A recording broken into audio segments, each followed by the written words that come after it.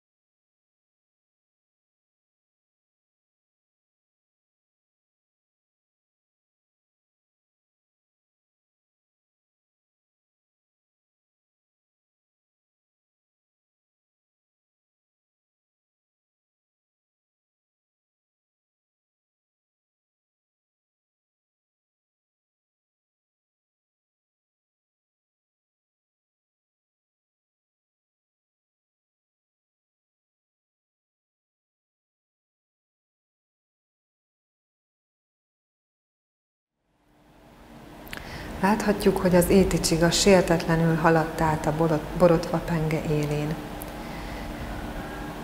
Ezt a nagymértékű nyálka termelésének köszönheti.